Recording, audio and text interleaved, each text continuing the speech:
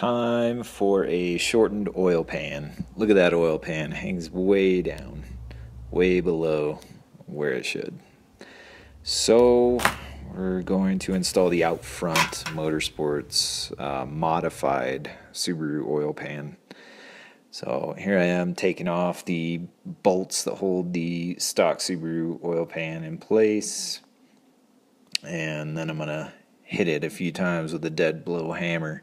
Usually that uh, does the trick and they just pop right off. This one's being a bit stubborn.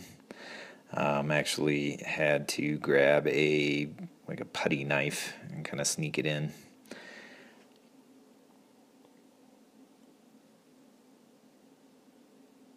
A major pain. Probably the a very original goop holding it in. Now you can see the oil pickup was removed and the little splash guard there, cleaning up the mounting surface with a razor blade, brake cleaner.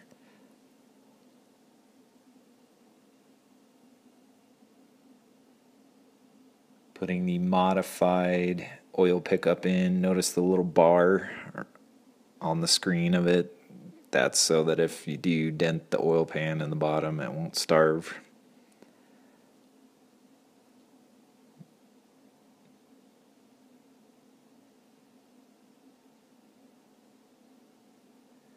So I put a cork gasket in.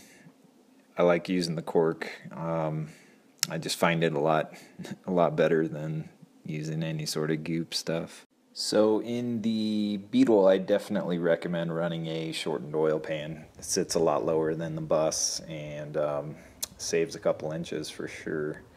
So as you can see, looks pretty good.